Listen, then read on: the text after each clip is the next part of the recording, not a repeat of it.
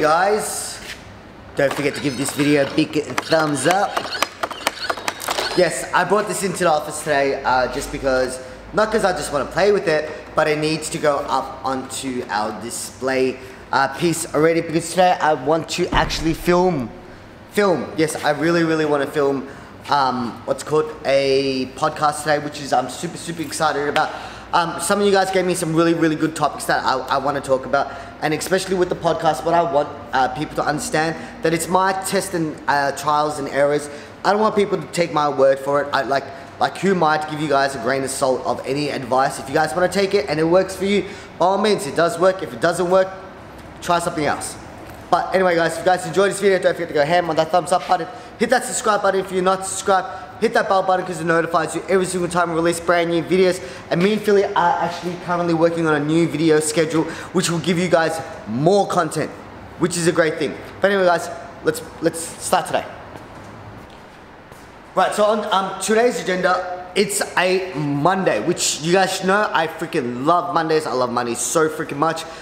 I want to smash out the rest of the content and scheduling all the content for Instagram, Facebook, all, all five social media platforms, uh, plus start pumping out our Kokaine uh, pop-up events, um, ads and all that. I'm gonna show you guys, actually, I wanna show you guys how I run ads, but at the same time, I don't want you guys to know my secrets, because some of it is like my, like I charge other customers and businesses for these secrets. So there's some of it I just don't want to give out to you guys because then you're sort of eating off my plate at the same time. You know, I, I got to be greedy and somehow make money. But anyway, guys, um, let's see how it goes. Let's see how well today goes. Um, if you guys don't know, we're at um, we're in Sydney at Honest Store at the very last week of September.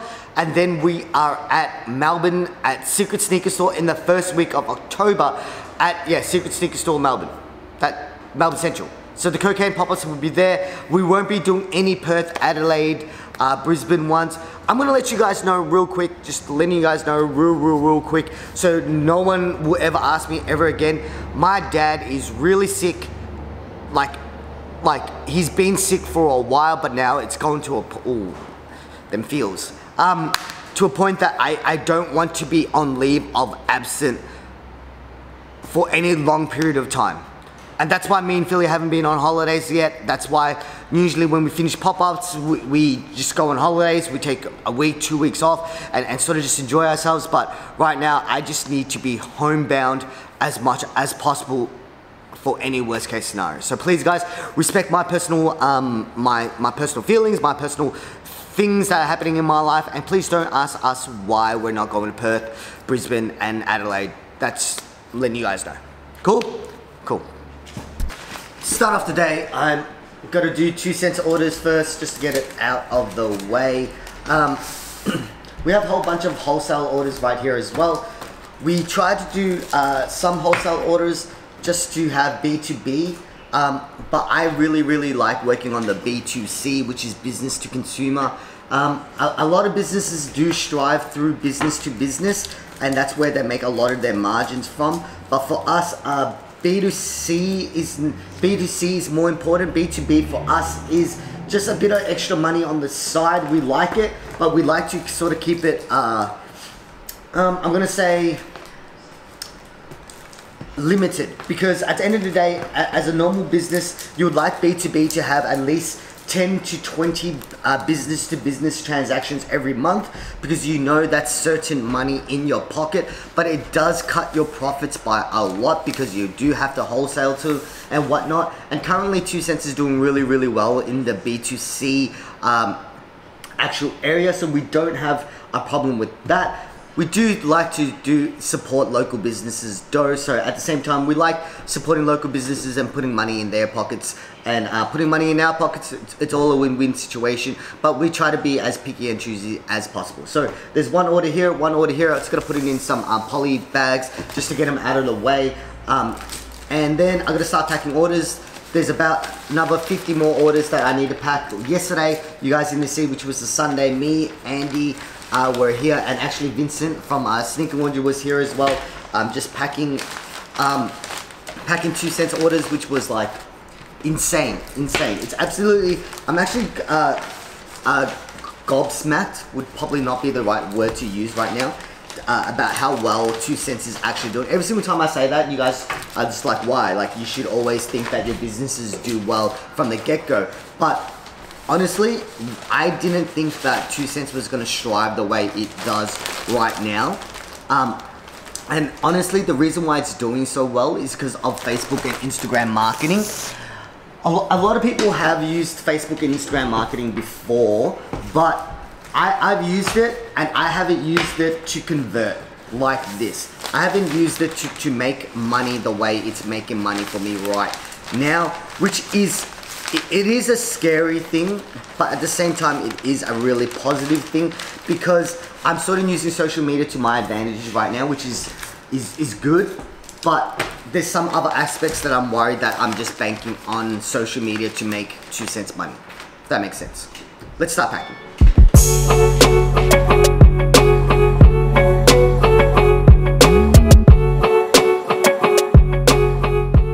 Midway packing through all these orders, I just had a little like uh, brain fart, I would call it. But this is what we're currently using to ship out all the air fresheners, right? This is $2.35 and then we stick on the priority stamp, which is another 50 cents. Um, that's costing us $2.85.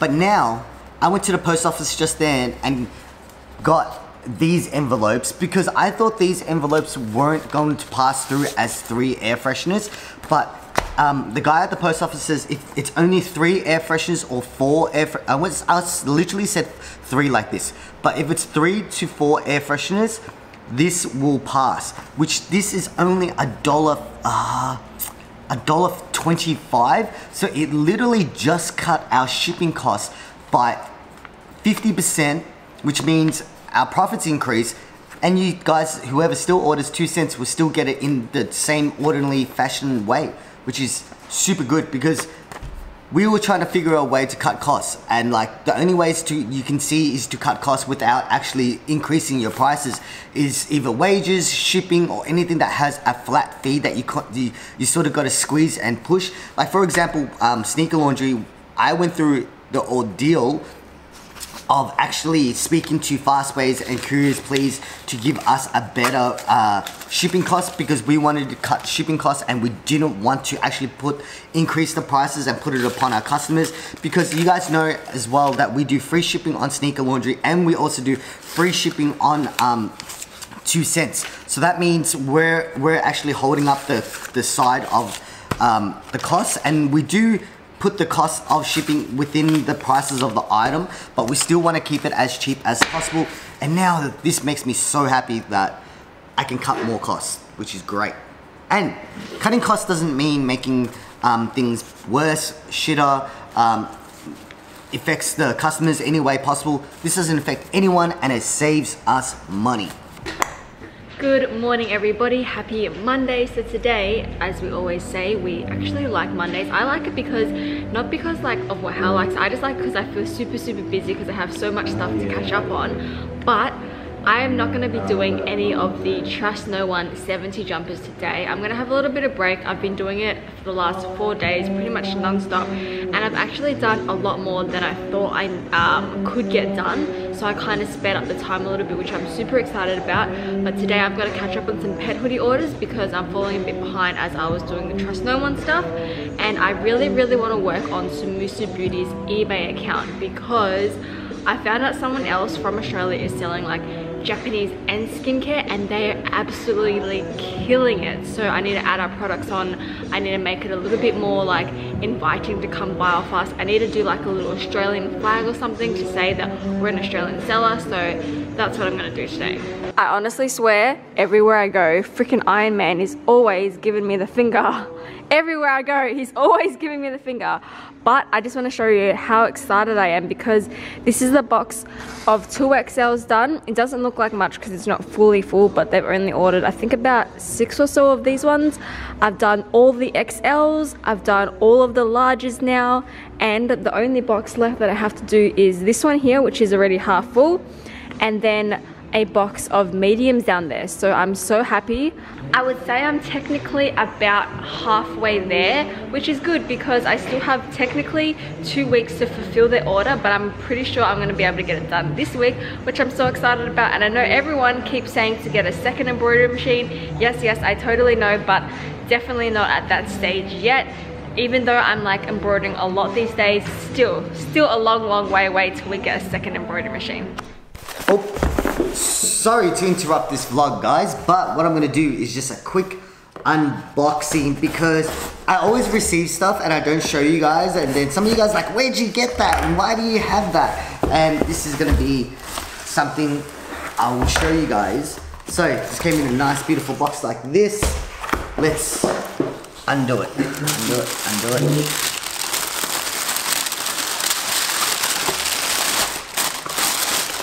Wow, that's very poor wrapping. Like, very, very poor wrapping. This is just a plain black jumper. Very, but the material on it is insane. Like insane. So what I want to do is I'm I bought this for multiple reasons. One, because I really, really like it. Two, after summer, uh, sorry, winter is done here, I'm gonna send this jumper to my manufacturers and ask them to make a jumper that feels just like this. This looks like a normal jumper, but if you guys actually have one or, or, or know someone that has one, please touch this jumper. Oh wait, how are you guys gonna know what jumper it is? Okay, it is a Stone Island a jumper. So this jumper was, was? Oh, it doesn't even have a price on it. These jumpers retail at six something, six, seven hundred dollars. Trust me, I, you guys should know my, me by now. Someone actually commented down below and, and it was just the greatest um, thing. I'm Asian and I definitely bought it on sale. Like this was on sale and I was like, I want a really plain jumper. And the only thing that it says that it's on that it's Stone Island is the patch on the side right here.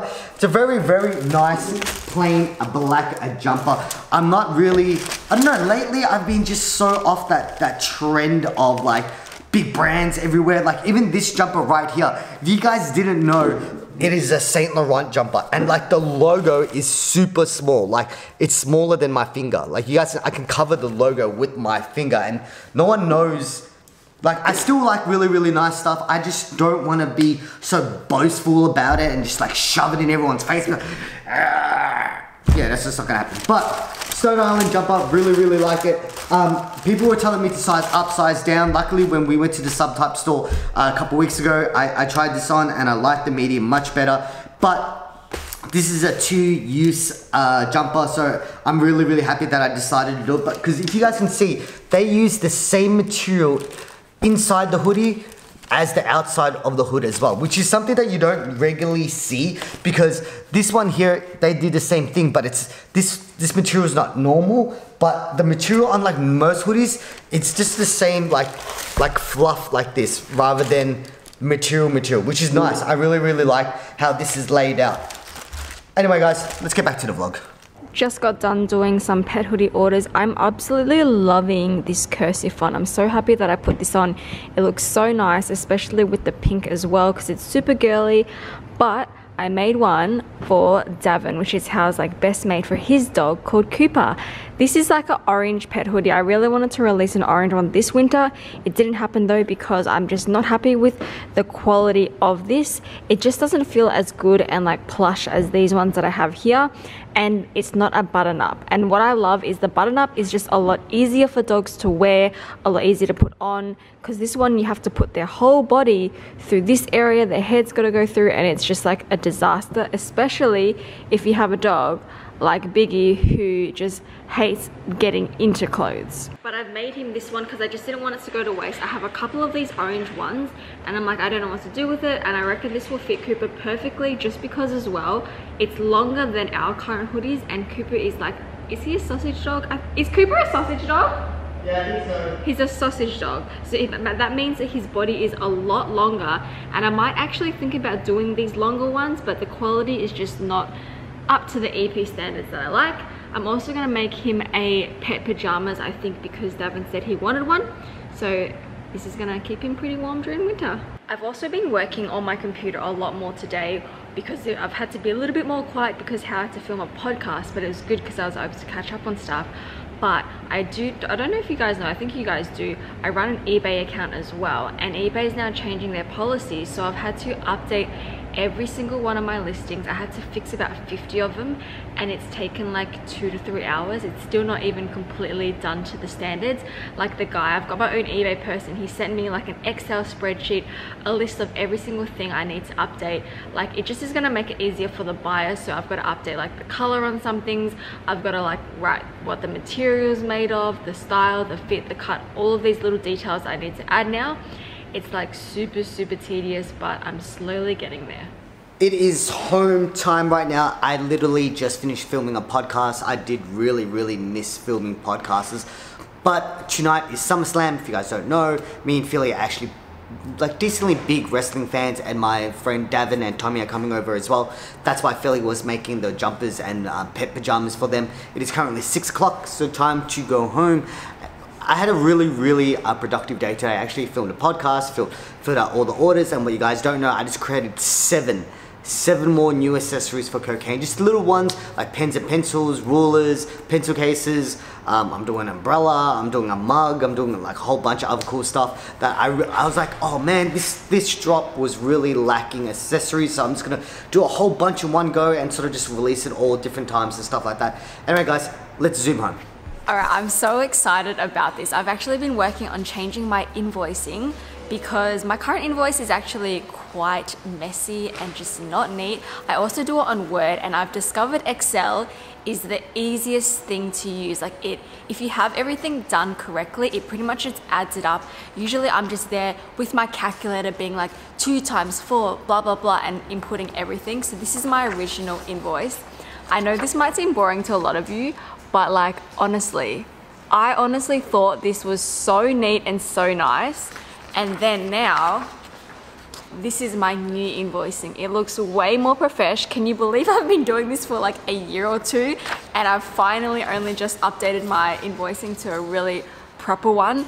But look at the difference. I never thought this was that bad until I now look at this one and it just makes a lot more sense it's just so good and so easy. So if you ever need to get invoicing done, just go onto Google, Google Excel spreadsheets invoices, and it will just come up with a whole heap of different templates. My one I chose is just like a purple one, very, very simple. There's other ones that have different colors and the ones that are more complex, like if you need to add more GST and all that stuff. But yeah, so in love with this.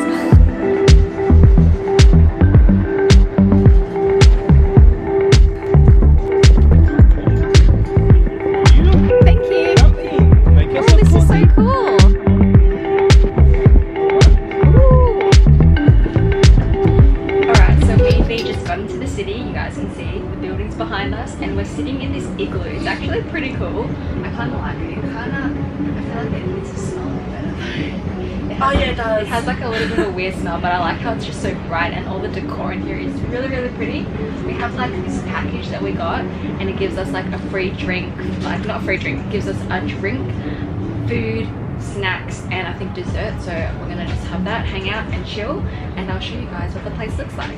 So the first thing we got is this grazing box. I see like bread pretzels strawberries grapes. I have no idea. I see olives and pickles it looks really, really good and look really pretty as well. we also got, what did we get, V? Um, cherry spritz. Cherry spritz. I have no idea um, what, yeah, this no is. what is. Do read it? We're probably gonna get drunk. I'm definitely gonna get drunk. If I drink this whole thing, I would definitely like, nope, can't yeah. drive home. But it looks nice.